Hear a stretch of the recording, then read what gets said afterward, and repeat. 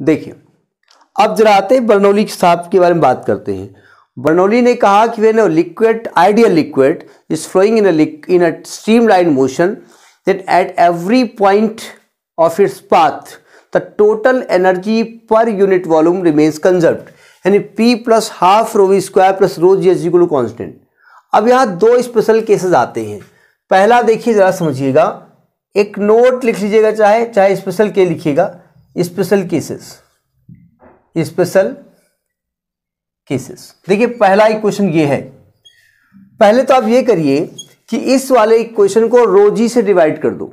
Dividing equation one by rho G dividing equation one by rho G rho बोले तो density of the liquid और जी बोले तो acceleration due to gravity देखो ये चीज़ किसी भी लिक्विड के लिए कांस्टेंट है। भाई रो किसी भी लिक्विड के लिए कांस्टेंट होता ही होता है और जी ऑलरेडी कांस्टेंट है।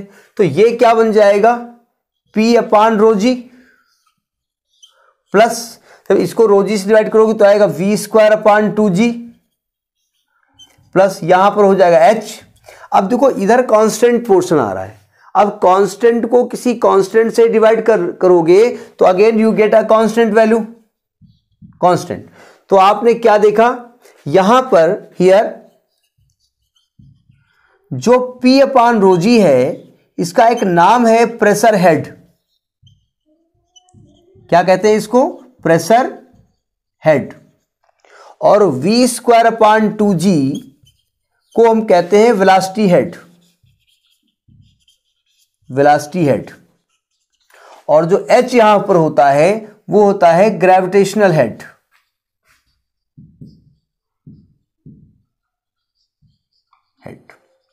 तो आपने एक थ्योरम और देख ली।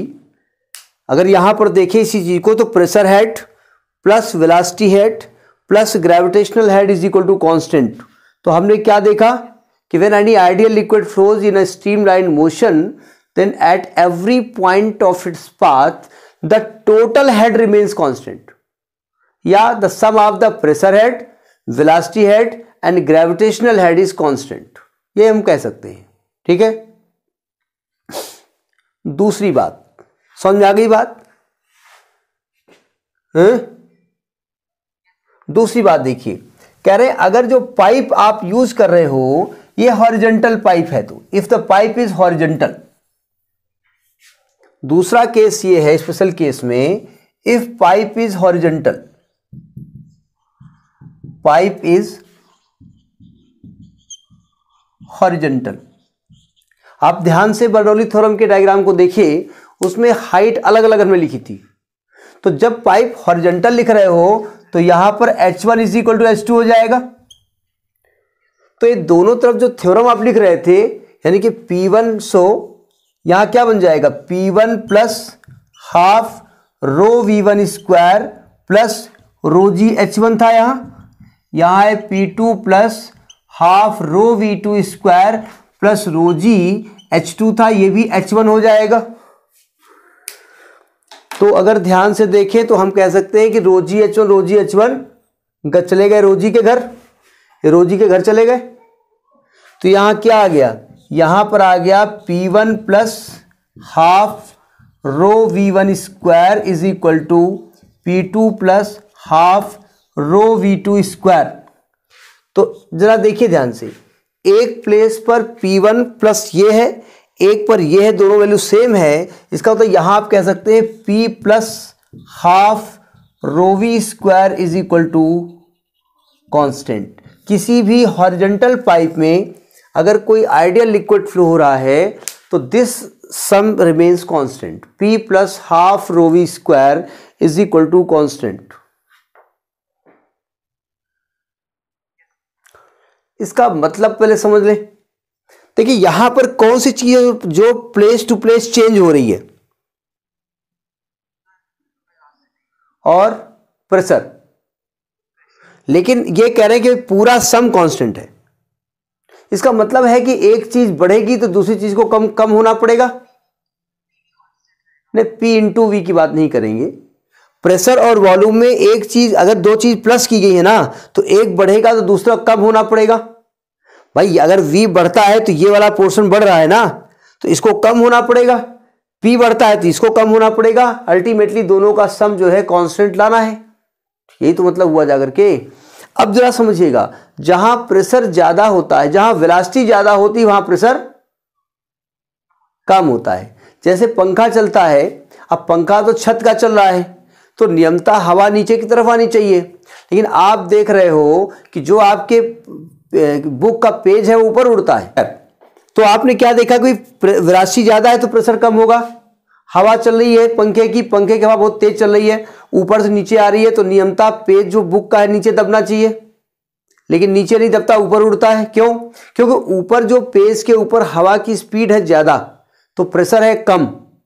और नीचे पेज के प्रेशर है ज़्यादा तो ये ज़्यादा प्रेशर क्या करेगा? इस इस, इस जो पेज को ऊपर की ओर उठा देगा। ठीक है? अब कुछ इसके एप्लीकेशन जैसे आंधी में जो होता है एकदम से, जब आंधी आती है तो टीन शेड जिसके यहाँ पड़ी होती है, उड़ जाती कभी कभी क्यों? क्योंकि टीन के ऊपर स्पीड फ्लो ऑफ़ एयर ज़्यादा होती है। टीन के नीचे फ्लो ऑफ़ एयर कम होती है वेलासिटी कम होती है तो ऊपर प्रेशर कम हो गया, नीचे प्रेशर ज़्यादा हो गया तो ज़्यादा प्रेशर ने क्या किया? टीन को उखाड़ दिया। उसी प्रकार से जैसे इस रेलवे स्टेशन पे जब ट्रेन आती है तो लोगों को प्लेटफॉर्म के नज़दीक जाने से रोका जाता है। प्लेटफॉर्म में किनारे जाने से रोका जाता है। ये कभी कोई क्वेश्चन पूछा जाता है कि ट्रेन के आने पर लोगों को प्लेटफॉर्म में किनारे जाने से रोका जाता है। क्यों? यहाँ पर फिजिक्स का कौन सा लॉ लगता है? तो आप कहेंगे, because velocity of train is more there. तो वहाँ पर प्रेशर क्या होता है? कम होता है। और जहाँ हम खड़े होते हैं, वहाँ वहाँ वेलासिटी ऑफ़ एयर कम है। तो वहाँ प्रेशर ज़्यादा होता है तो हमारी बॉडी क्या होती है? ज़्यादा प्रेशर से कम प्रेशर की ओर ऐसे धक्का लगता है कि इसलिए गिरने की संभावनाएँ होती है, ठीक है? तो बर्नौली थ्योरम के कुछ एप्लीकेशन है। लिखिए application based on Bernoulli theorem application based on Bernoulli theorem application based on Bernoulli's theorem यानी एप्लीकेशन आप बर्नौली थ्योरम कह सकते हैं। अब एप्लीकेशन बेस्ड ऑन इसलिए किया कि भाई बर्नौली थ्योरम कोई इंस्ट्रूमेंट तो है नहीं। तो उसका प्रिंसिपल यूज़ कर रहे हैं, इसलिए बेस्ड ऑन कहा गया है। Application based on Bernoulli theorem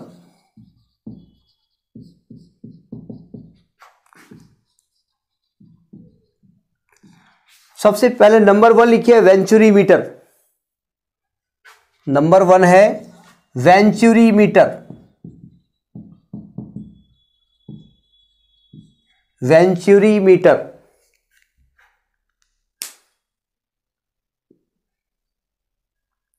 देखो, वेंचुरी मीटर होता क्या है? ये एक डिवाइस होती है based on the principle of Bernoulli's theorem लिखिए, venturi meter is a device Venturi meter is a device based on Bernoulli's theorem by which by which we can know the rate of flow of water in a tube. The rate of flow of water in a tube किसी tube में rate of flow of water rate of flow of water मतलब speed नहीं। Rate of flow of water मतलब होता है कि पर second कितना वॉल्यूम वाटर उसमें फ्लो हो रहा है। अब जरा समझिएगा, जैसे हमको पानी चाहिए, ठीक है? देखिए, अब हमें आपसे पानी खरीदना है, ठीक है? आपने टैंकर से हमको पानी देना शुरू किया समझिएगा। तो हम इस पाइप को लगाते हैं, पहले कैसे काम करती है, इसके बारे में बात कर लेते हैं। देखो ज़रा ध्यान से। इसमें होता, अभी बनाइएगा नहीं। इसमें होता क्या है कि एक पाइप होती है ऐसे। अभी बनाइएगा नहीं। बीच में कुछ पतली होती है। ठीक है?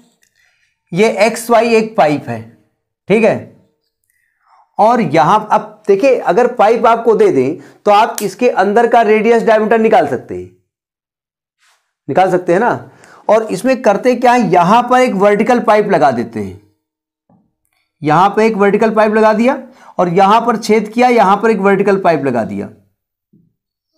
इस इस बीच वाले पोर्शन का नाम मैंने लिखा जेड ठीक है? अब यहाँ पर लिक्विड फ्लो हो रहा है ऐसे। कैसे हम कैलकुलेट करेंगे? तो इसमें क्या होता है कि ये ये वाला पार्ट इसका हमने पतला कर दिया। अब जरा समझिएगा। इस डायग्राम को क्लियर समझिएगा। इस वाला जो एंड है ना, यहाँ का एरिया ऑफ़ क्रॉस सेक्शन इसका एरिया ऑफ़ क्रॉस सेक्शन मैंने ए वन मान लिया। क्या मान लिया? ए वन और यहाँ प्रेशर मान लिया हमने पी वन और यहाँ वेलासिटी हमने मान लिया वी वन यहाँ पर एरिया ऑफ़ क्रॉस सेक्शन हमने ए टू मान लिया प्रेशर पी टू मान लिया, और velocity of flow V two मान लिया। जरा समझिएगा। यहाँ पर एरिया ए वन है एरिया ज़्यादा दिखाई हमने है, यहाँ एरिया कम है। प्रेशर कहाँ ज़्यादा होगा? कहाँ वेलासिटी यहाँ यहाँ और यहाँ वेलासिटी कहाँ ज़्यादा है? यानी जेड पोर्शन पे वेलासिटी ज़्यादा होगी तो प्रेशर कहाँ पे ज़्यादा होगा? जहाँ वेलासिटी ज़्यादा, वहाँ प्रेशर कम।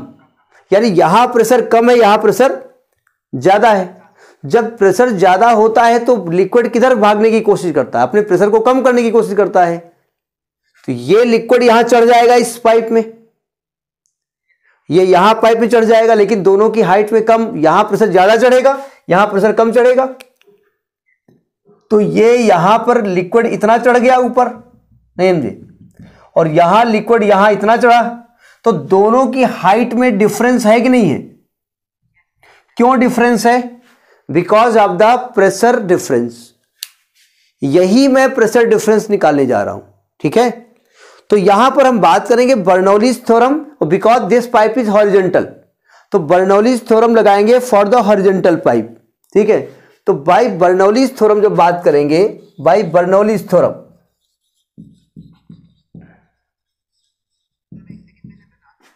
हाँ बना लीजिए।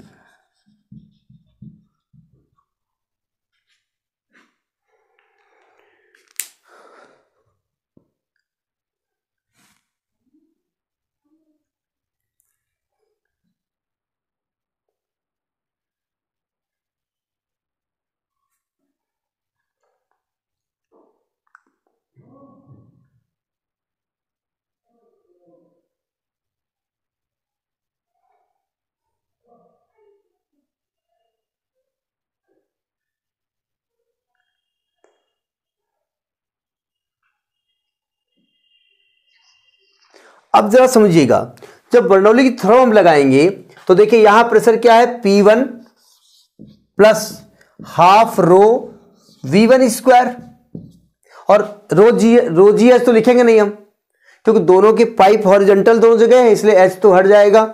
Is equal to P two plus half rho V two square अब देखो पी वन की वैल्यू ज़्यादा है प्रेशर, इसीलिए लिक्विड ज़्यादा चढ़ा था। तो पी पी टू को इधर ट्रांसफ़र कर दो तो आएगा P one minus P two is equal to half rho ये आएगा V two square minus V one square देखिए, अगर प्रेशर यहाँ पी वन है, यहाँ पी टू है, दोनों के डिफरेंस की वजह से जो लिक्विड राइज हुआ है, वो एच है तो एक्चुअली में प्रेशर डिफरेंस कितना है? एच रोजी ये एच रोजी ज़्यादा है। यानी कि इसको हम लिख सकते हैं एच रोजी एच रोजी लिख सकते हैं ना? यहाँ से हम क्या करेंगे? हाफ़ रो यहाँ से वी वन स्क्वायर कॉमन लेते हैं। अब आप कहेंगे, क्यों लेते हैं? मैं वो बाद में बात करूँगा। हम वी वन स्क्वायर कॉमन लेते हैं। तो यहाँ क्या बचेगा? V two square upon V one square minus one diagram रब कर सकते हैं हम। डायग्राम को ध्यान रखिएगा, क्या बताया गया है? देखिए, अब प्रिंसिपल ऑफ़ कंटिन्यूटी क्या कहती है? एक्चुअली देखिए, कोई भी फार्मूला जो बना के लाएँगे, अगर किसी इंस्ट्रूमेंट से मेजर करना है तो फार्मूला ऐसे टर्म में होना चाहिए, जिससे हम इंस्ट्रूमेंट की हेल्प से उसको नाप सके। ठीक है?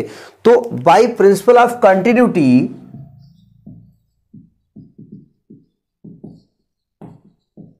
of continuity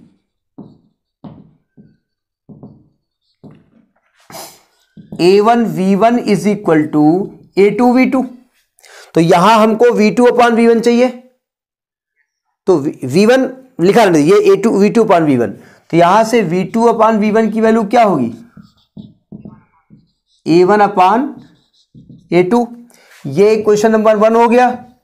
तो लिखेंगे so by equation one one equation में आपको क्या मिलेगा?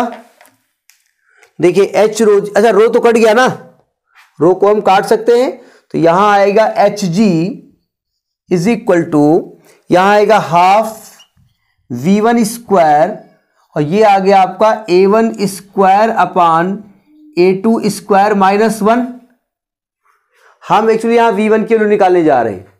तो देखिए, ये आएगा H G is equal to half V one square LCM लेंगे, आएगा A one square minus A two square upon A two square तो यहाँ से हमको वी वन निकालना है।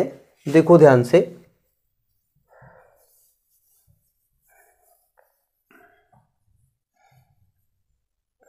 देखिए, जब हम वी वन स्क्वायर निकालेंगे तो इसको इधर शिफ्ट करेंगे।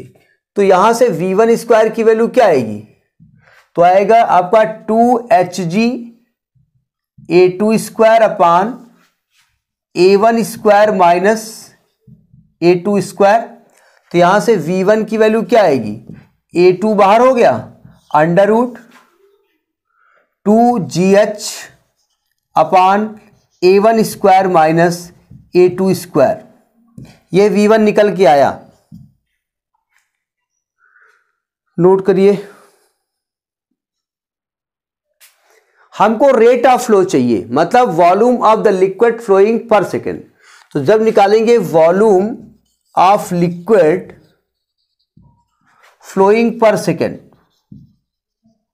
flowing per second तो वॉल्यूम को मान लेते हैं क्यू लिख देते हैं, क्योंकि वेलासिटी यहाँ वी है कंफ्यूजन ना हो। तो बताइए किसी पाइप का अगर एरिया आपको मालूम है, और पाइप में वेलासिटी ऑफ़ फ्लो लिक्विड की मालूम है तो वॉल्यूम का फॉर्मूला क्या होता है? यानी एरिया बोले तो ए वन, वेलासिटी बोले तो वी वन। तो जब हम यहाँ रखेंगे वी वन की वैल्यू तो क्या आएगा ये? A one A two, under root two G H upon A one square minus A two square. तो this is the value this is the volume of liquid flowing per second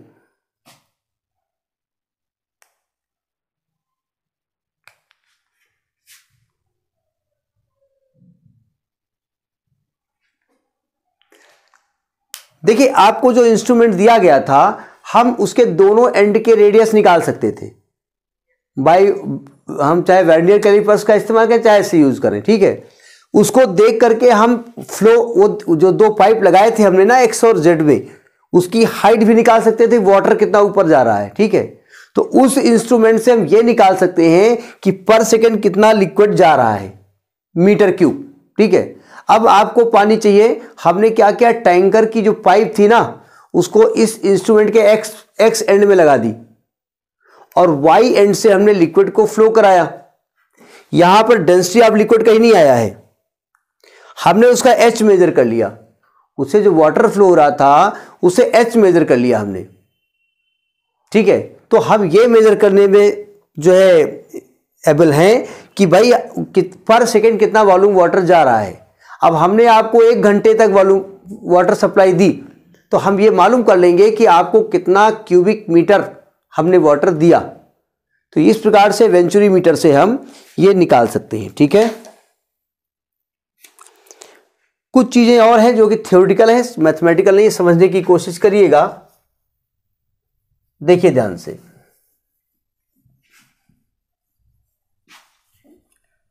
दूसरा है आपका shape of the wings of aeroplane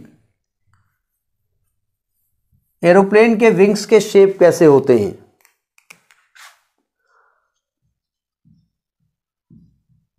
Shape of the wings of aeroplane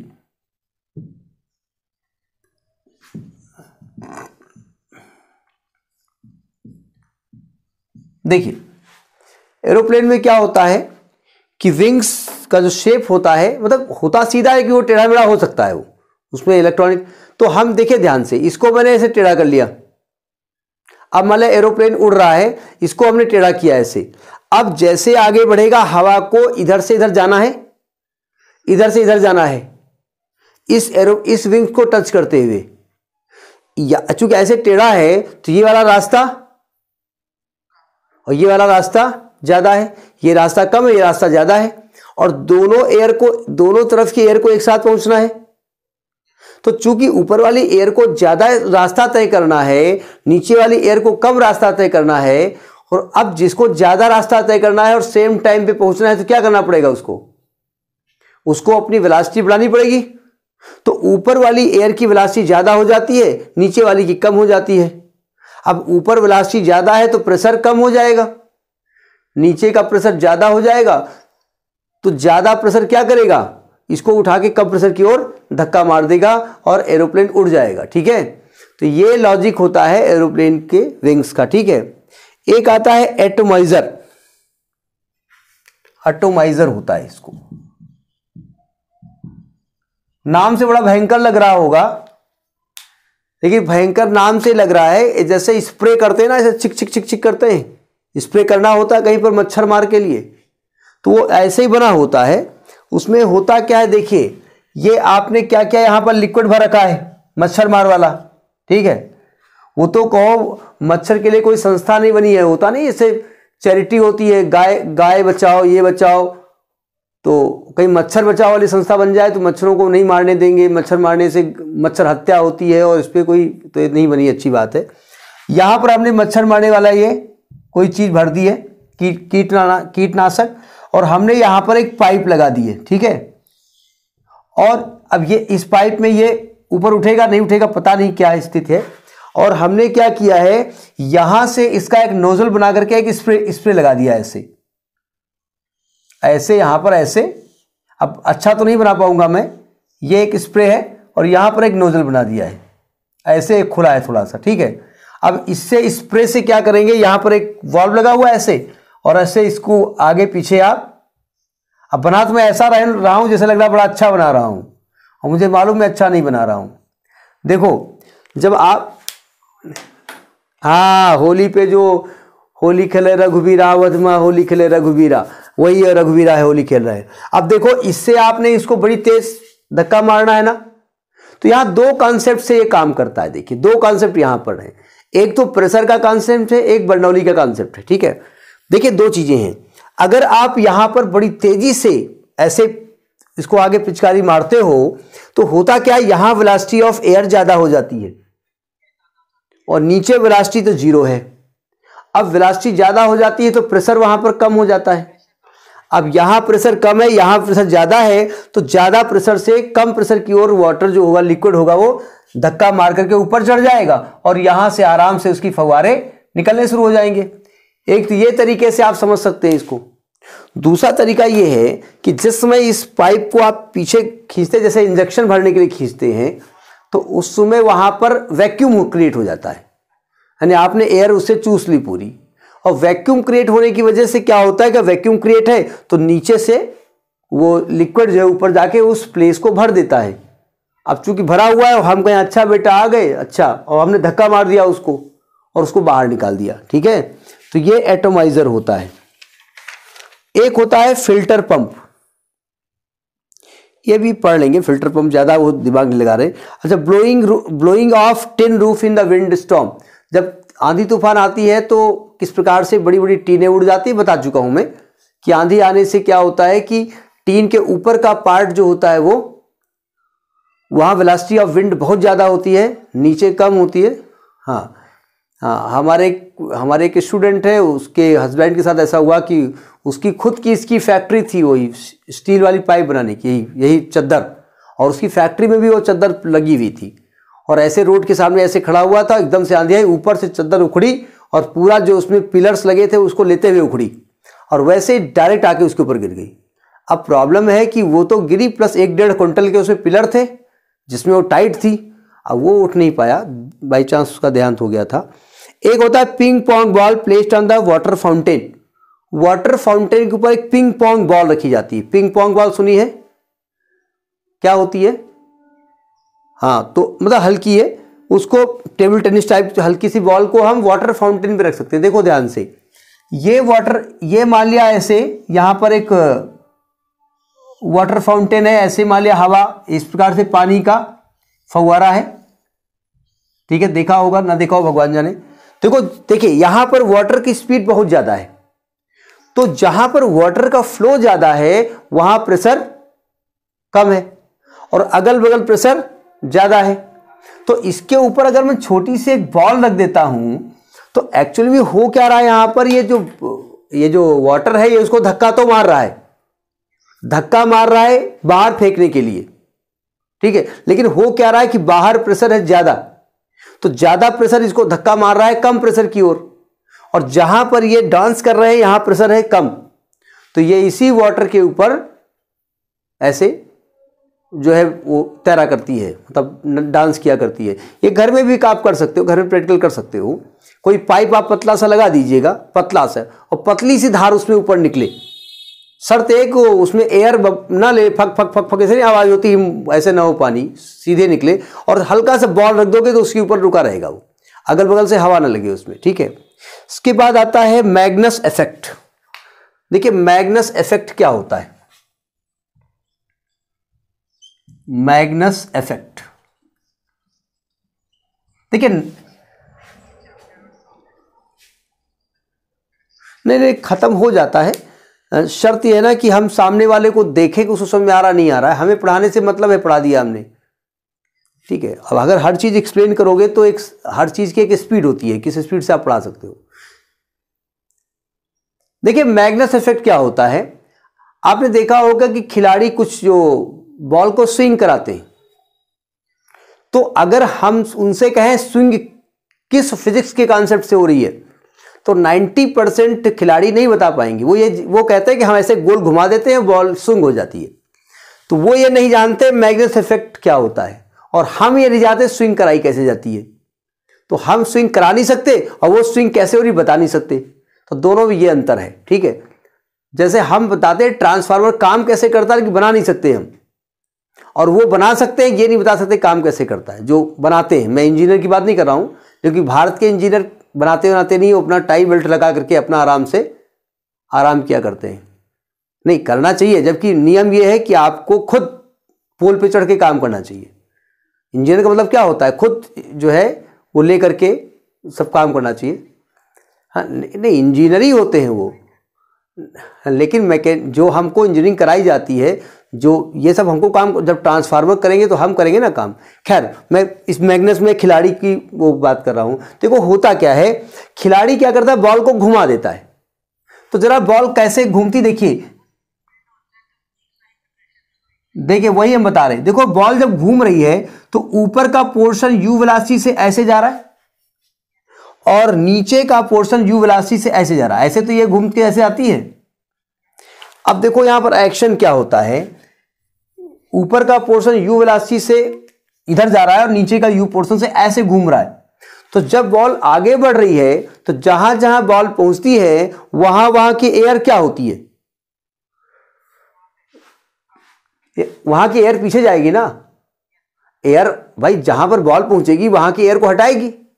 तो ये वाली air आगे वाली पीछे जाएगी तो इधर जाएगी ऐसे वी वेलासिटी से और इधर जाएगी ऐसे वी वेलासिटी से।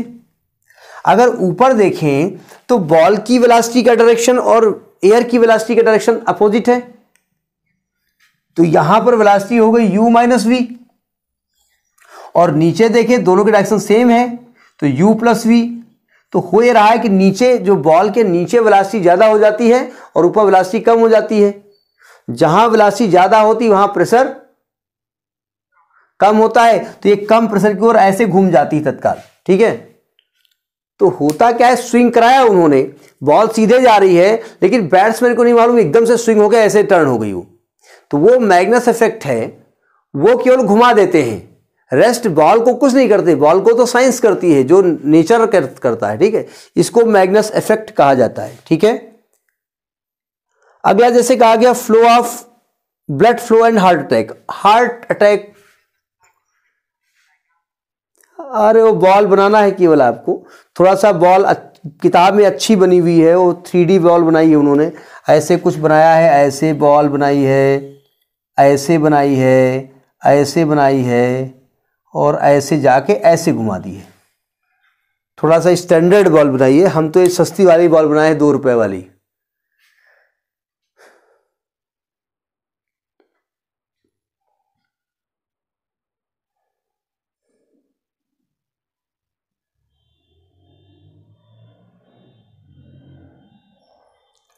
अब देखिए हार्ट अटैक का जो कंसेप्ट होता है उसमें भी ऐसा नहीं बर्नौली साहब ने जो रूल दिया इसलिए हार्ट अटैक होने लगा। हार्ट में क्या होता है कि जब हम कभी बहुत एक्साइटेड होते हैं बहुत ज़्यादा वर्क करना पड़ता है या बिल्कुल हार्ट की पंपिंग तेज हो जाती है तो मान लिया हार्ट से बहुत तेज़ी से ब्लड निकला तो बहुत तेज़ी से ब्लड निकला तो वहाँ वेलासिटी ऑफ़ फ्लो ज़्यादा है। तो वहाँ पर प्रेस, प्रेशर कम हो गया और दोनों तरफ़ प्रेशर ज़्यादा है। तो अब ज़्यादा प्रेशर क्या करेगा? वो उसको क्या कहते हैं? आर्टरीज कहते हैं। नहीं, अंदर अंदर जाने वाली को आर्टरीज कहते हैं शायद, बाहर जाने वाली क्या कहते हैं? जो भी कहते हैं। वेन कहते हैं। मैं आर्टरीज की बात कर रहा था। अब बाहर की ओर फ्लो हुआ तो एकदम से वो आर्टरीज क्या हो गई? क्योंकि वहाँ वेलोसिटी ऑफ़ फ्लो ज़्यादा थी प्रेशर कम था तो एकदम से वो चिपक गई। अब चिपकने से क्या होता है कि हार्ट का जो वेलोसिटी ऑफ़ फ्लो ऑफ़ वो था जो ब्लड वो कम हो गया। अब हार्ट तो बड़ी खुशी में धक्का मार रहा ब्लड को, लेकिन ब्लड बाहर नहीं जा पा रहा है, क्योंकि आर्टरी चिपक गई एकदम से, ठीक है? तो उसी में हार्ट की फंक्शनिंग गड़बड़ हो जाती है और हार्ट अटैक हो जाता है, जैसा कि किताब में लिखा हुआ है। आगे डॉक्टर ज़्यादा बेहतर जानते हैं, ठीक है? तो ये आपके कुछ कंसेप्ट हैं, कुछ उसी प्रकार कहा गया डीप वाटर रंस कम, जो गहरा पानी होता है, चूँकि वहाँ वेलासिटी ऑफ़ फ्लो वहाँ प्रेशर, वैसे देखो डीप वाटर है मान लिया। गहराई पे आप जाएँ तो गहरे पानी में होने से क्या होता है कि ऊपर से प्रेशर बढ़ जाता है। तो जब प्रेशर नीचे ज़्यादा है तो वेलासिटी ऑफ़ फ्लो अपने आप कम हो जाएगी, ठीक है? अब लिखिए वेलासिटी ऑफ़ एफ्लक्स हाँ विस्कस हाँ विस्कस फोर्स वहाँ पर होगा, वो अभी बताया जाएगा। लेकिन अब बर्नौली थ्योरम के आधार पे उसको एक्सप्लेन करने की बात की गई है कि how you explain on the basis of Bernoulli theorem अब लिखिए velocity of efflux of the liquid velocity of efflux of the liquid देखिए वेलासिटी ऑफ़ एफ्लक्स क्या होता है?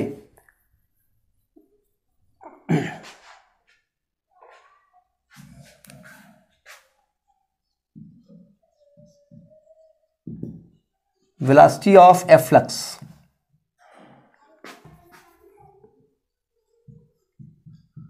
efflux of the liquid. देखो ध्यान से। अगर आप किसी टंकी में वाटर फ्लो कर लें वाटर ले लें सॉरी और उस टंकी में कहीं छेद करें तो जैसे छेद करेंगे, वहाँ से वाटर निकलना शुरू हो जाएगा। तो जिस वेलासिटी से वो वाटर निकलेगा that velocity is known as velocity of efflux उसी को वेलासिटी ऑफ़ ए फ्लक्स कहते हैं, ठीक है? जरा समझिएगा। हमने ये टंकी ली, और इस टंकी में मान लिया कि ऊपर तक लिक्विड भरा, मैं लिक्विड की बात कर रहा हूँ। ये लिक्विड भरा हुआ है और हमने माना ये लिक्विड कैपिटल एच हाइट तक भरा हुआ है। अब देखिए जरा वेलासिटी इसका जो लिक्विड का अपर पोर्शन है जब टॉप देखिए। टॉप पे प्रेशर कौन सा काम कर रहा है? एटमॉस्फेरिक प्रेशर और टॉप पे वेलासिटी कितनी है? ज़ीरो ठीक है। अब हमने क्या किया? इसमें एक छेद कर दिया हमने, मान लिया ऊपर से स्मॉल एच हाइट पे हमने यहाँ पर छेद कर दिया। ठीक, यहाँ पर छेद कर दिया। तो जैसे छेद किया जाए, देखिए इस छेद में क्या होगा, ऐसी वाटर निकलेगा वी से। यहाँ वी वन ज़ीरो था, यहाँ वी वन ज़ीरो था प्रेशर पी वन था, या पी था एटमोस्फियर प्रेशर जैसे ही वाटर बाहर निकला, बाहर, जैसे बाहर निकला, भाई साहब मैं आया तो प्रेशर कौन सा लगेगा उसके ऊपर? यहाँ भी प्रेशर पी ही लगेगा। तो हम यहाँ पर और यहाँ पर लगा दे बर्नौलीज थोरम तो बाई बर्नौलीज थोरम अगर मैं पहले लैंग्वेज लिखेंगे, कहाँ पर छेद किया आपने? By Bernoulli's theorem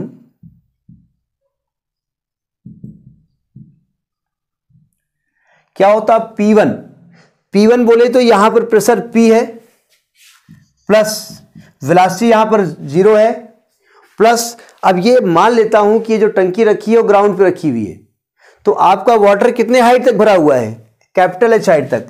Plus rho G capital H क्योंकि हाइट तो ग्राउंड से लेनी है। इज़ इक्वल टू यहाँ पर आ गए। यहाँ जैसे लिक्विड बाहर निकला था प्रेशर कितना लग रहा था? पी और वेलोसिटी है हाफ़ रोवी स्क्वायर और हाइट कितनी है? Rho G H minus H ground से हाइट लेनी है ना? ये वाली हाइट लेनी है। नहीं, मैंने कैपिटल एच मान रखने भी दिक्कत होगी ना कि आपको तो ऊपर से वाटर को फ्लो करना है। वो हमें जो डेफिनेशन बनानी है, ऊपर से हाइट से बनानी है ना, इसलिए हम नहीं बना रहे। तो देखिए पी और पी तो कैंसिल हो गया। तो ये आ गया rho G H is equal to half rho V square plus rho G H minus rho G small H rho G H भी कट गया। इसको इधर ले आओ। तो half rho V square is equal to rho G small H तो यहाँ V की वैल्यू क्या निकलेगी? Under root two G H निकलेगी। पहले इसके, इसको लिखिए, फिर हम बात करते हैं। से, सावधान। अगर कोई बॉडी यहाँ पर मान लेते हैं, ये रखी हुई है एच देखो इधर, पहले समझ लीजिएगा। एच हाइट पर रखी हुई है, यहाँ पर इनिशियल वेलोसिटी बॉडी की क्या है? ज़ीरो अगर उसको एच हाइट से नीचे गिरा दिया जाए तो यहाँ वेलोसिटी कितनी रिगेन करेगी? रूट टू जी एच नहीं होती। है तो होता है V square U square plus two G H यानी कि यहाँ से अगर लिक्विड को फ्रीली गिराया जाता तो उसको वेलासिटी कितनी रिगेन करता वो? कितनी वेलासिटी उसको मिलती? रूट टू जी एच तो आप कहेंगे वेलासिटी ऑफ़ एफ्लेक्स वही वेलासिटी होती है जो बॉडी फ्री सरफेस से एच हाइट तक गिरने में एक्वायर करती है। कह सकते हैं? तो आप लिख लीजिएगा लिख लीजिएगा। The velocity of efflux the velocity of efflux of liquid of a liquid from an orifice एक वर्ड यूज़ किया गया ओरिफाइस फिर ये बता रहे हैं क्या होता है। Orifice from an orifice is equal to that velocity is equal to that velocity is equal to that velocity which the liquid acquires which the liquid acquires in falling freely in falling freely from the surface of the liquid up to the orifice from the surface of the liquid up to the orifice देखो orifice होता क्या है? अच्छा इसके बारे में सबसे पहले टोरिसरी साहब ने बताया था तो this is known as Torricelli theorem Torricelli theorem Torricelli's theorem. ये टोरिसली ने बताया था, इसलिए उनकी थ्योरम के नाम से जाना जाता ठीक है?